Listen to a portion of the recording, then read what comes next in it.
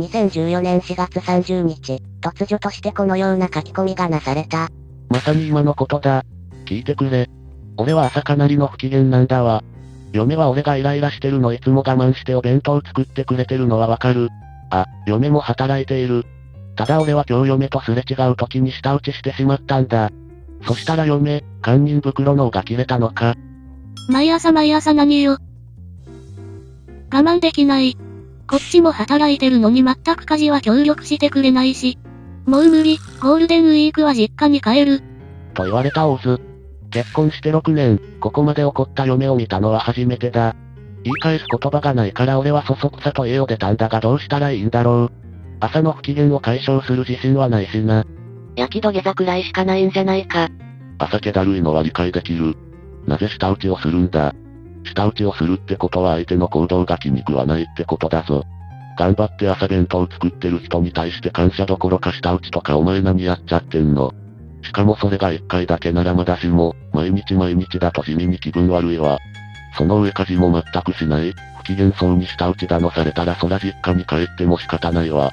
朝改善どうしてもできないなら、その分他で埋めればいいのに。お前何もしてやってないだろ。共働きなら家事は普通折半だろ。俺が嫁ならさっさと捨てたい物件だな。愛が冷めたらただの不良物件にしか見えなくなって速攻別れたくなるような気がするが、首を洗って沙汰を待て。結婚して6年、ここまで怒った嫁を見たのは初めてだ。6年耐えた。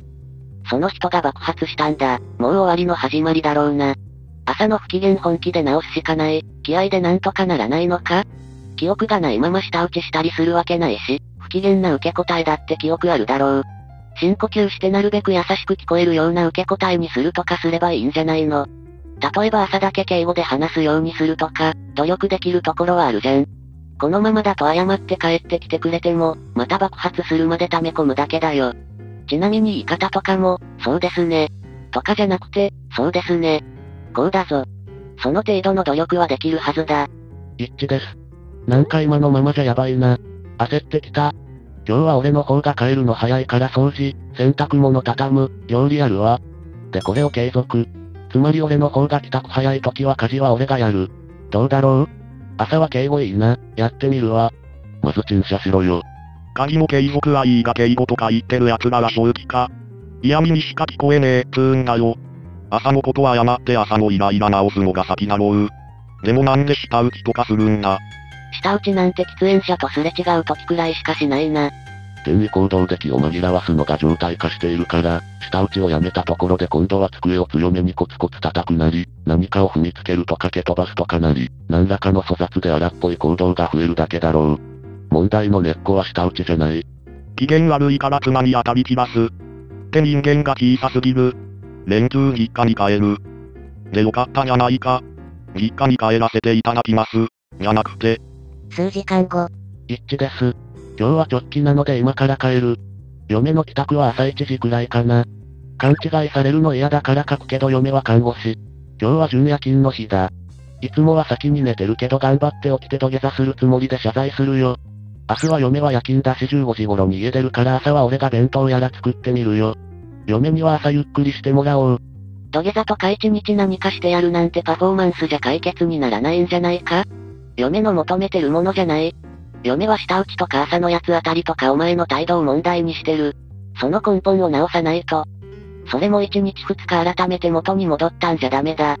恒常的にその癖が出ないようにしないとまた爆発する。とにかくなんで舌打ちするのよ。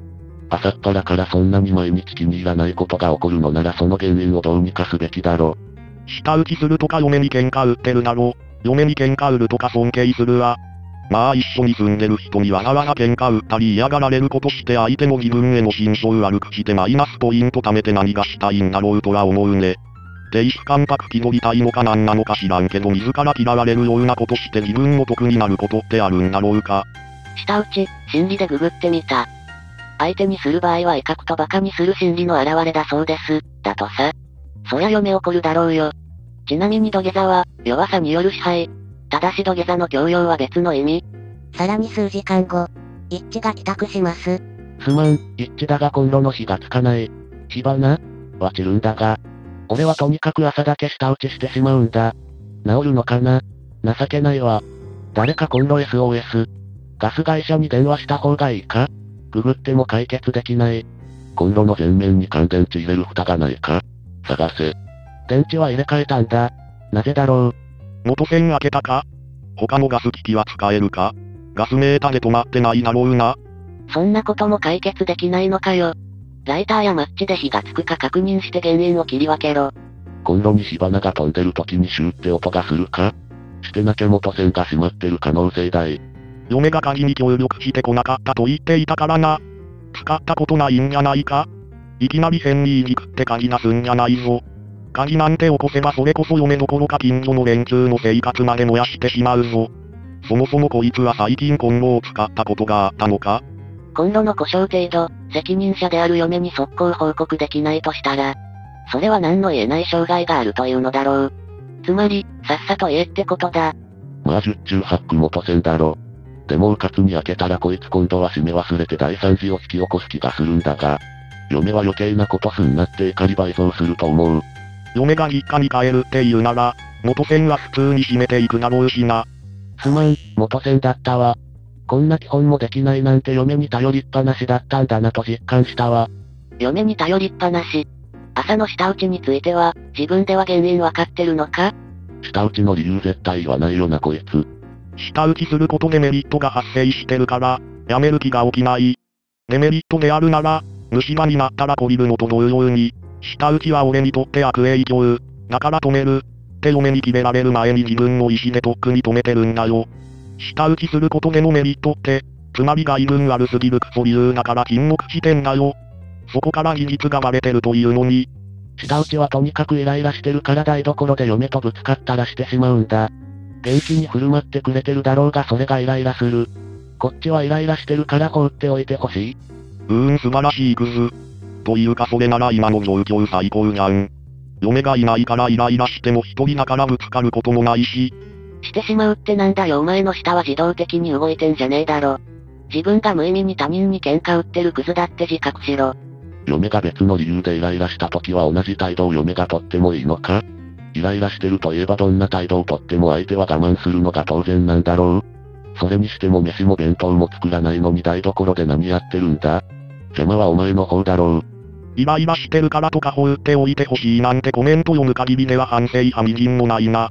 むしろ自分の行動は当然と思ってそうな。それで土下座やら形だけ1日2日弁当作っても改善はしないだろう。このままなら早晩嫁はゴールデンウィークだけでなくずっと実家に帰るか出ていくだろうよ。看護師って職は離婚が多い。いつも雇用があるからな。病付きだってある。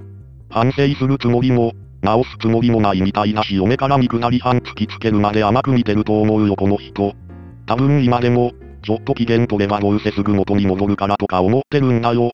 子供なんてできた日には、毎朝クズの行動見られるわけだし教育にも行くないしさっさと別れてもっといい人探した方が嫁は幸せだろうね。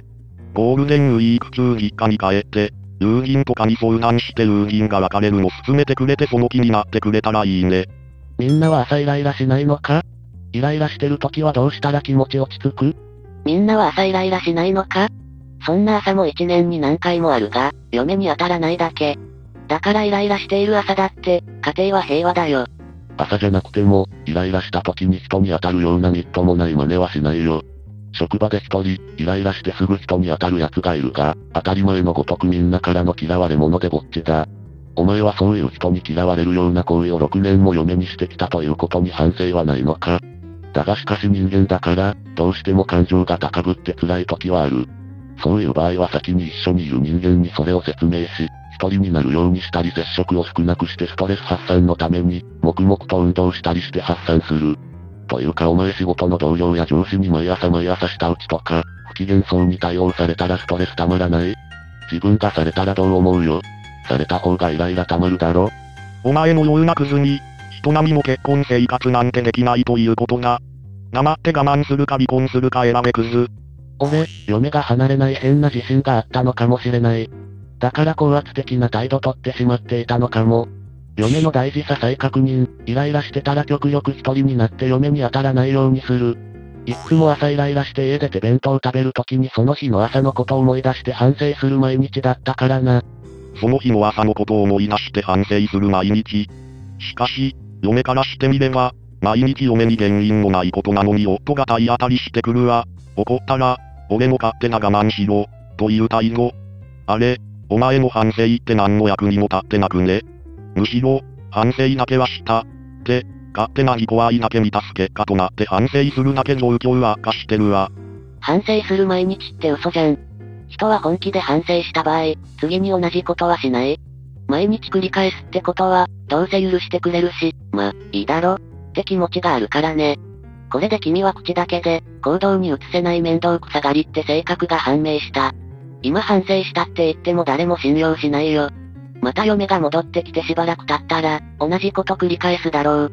あと嫁つっても、血の繋がらない赤の他人だからな。愛情ってのは減ったり増えたりして一定ではないんだ。愛情がなくなったら離婚って手もあるわけだし、毎日嫁に辛く当たってるお前に愛情減らないわけがない。嫁が俺のこと嫌うわけがないと考える奴に限って、捨てられてもあいつは一度俺と結婚したんだからまだ俺のこと好きなはずとか夢見ちゃうんだよな。看護師なんか低くてあまただからな仕事でも男でも。クズ男にいつまでも付き添う理由など皆無。奴隷扱いしても、嫁が離れていかないと思う男って、大抵最後にはいつも逃げられるよな。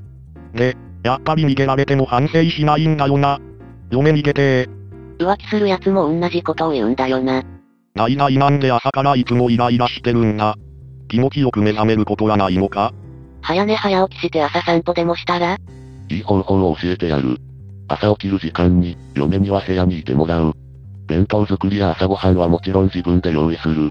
共働きなんだから自分で作るのくらい当たり前だよな。これなら、自分で全て用意するし嫁が近くにいなくても問題ない。嫁は嫁で自分の朝の支度だけすればいいので、ノーストレス。朝に顔を合わせないようにすれば、大丈夫だろ朝の支度は自分でしろ。これで全て解決。できないとかいうだらけ根性の言い訳は聞かぬ。こいつに合わせて部屋にいたら、嫁が朝のシフトの時は帰国するかもしれないじゃないか。それに部屋だって顔を合わせるだろう。嫁が部屋にいたって朝はどうせイライラするんだろ。部屋でぶつかったら同じことが。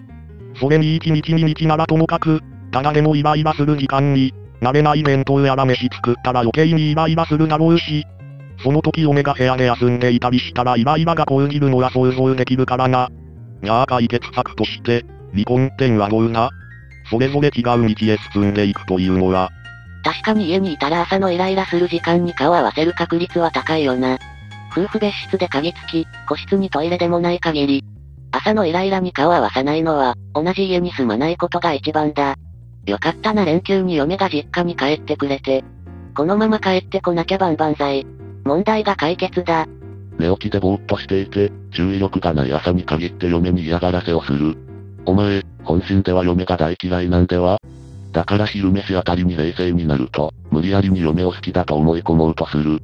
だけど、本当の本心では嫁が憎いから、せっかく昼間のうちにごまかした剣をが朝起きた直後に嫁に向かって、本当はお前うざくて嫌いだよ。って本心が爆発する。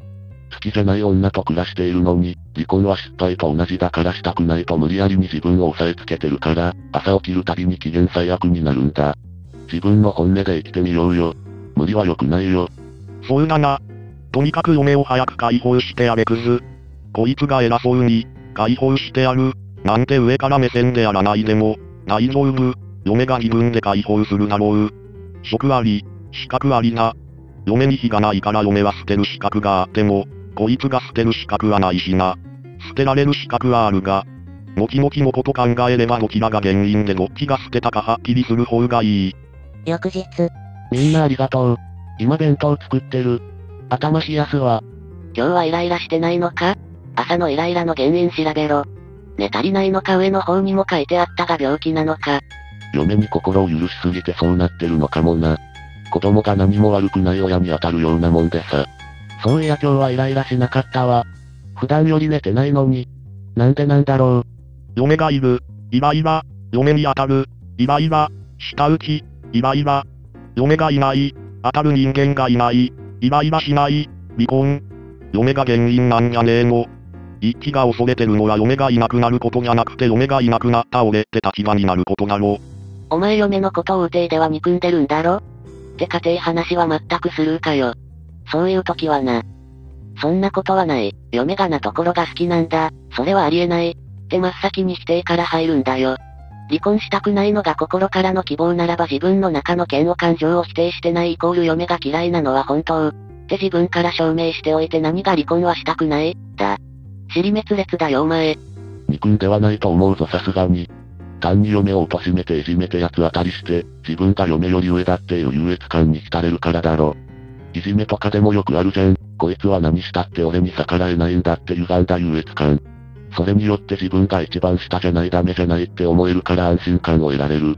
嫁をサンドバッグにしても俺を愛してるから我慢するしかない。逃げるわけがない、嫌うわけがないという優越感。でも、通にいじめる手立てがないから朝不機嫌に振る舞って毎日嫁が今日も奴隷だと確かめてほっとする。嫁は夫の俺より下がいるって安心感を作る道具なんだよ。ある意味相手の愛を確かめる行為でもあるな。だから、毎朝、確かめるんだろ。今日もこいつは俺を許したってね。一致自身が言ってるじゃん。俺、嫁が離れない変な自信があったのかも。って。それって毎朝確かめてたからそう思ってたんだろ離婚したくない。それは嫁を愛しているから、が間違いでないならば。俺が愛してやってるのだから、嫁は俺のすることを何でも嬉しく思うべきな。この俺が愛してやってるのに嫁が何でも笑顔で受け止めないのが悪い。俺が朝っぱらから嫁に機嫌の悪さを当たり散らすのも愛情表現だ。てか。以降、一致は現れませんでした。離婚になったのかは不明ですが、この状況に6年も耐え続けた嫁さんが爆発したのですから、この後とてつもない修羅場に発展したことは想像に難くありません。最後の方で一致はイライラしなかったと言っておりましたが、スレミンの言うように嫁さんがイライラの原因だったとしたら、お互い離れた方が一致的にもいいと思います。とにかく、一致嫁さんに幸あれ。以上で終了です。最後までご視聴ありがとうございました。よろしければコメントを書いてください。チャンネル登録、高評価もお願いいたします。バイなら。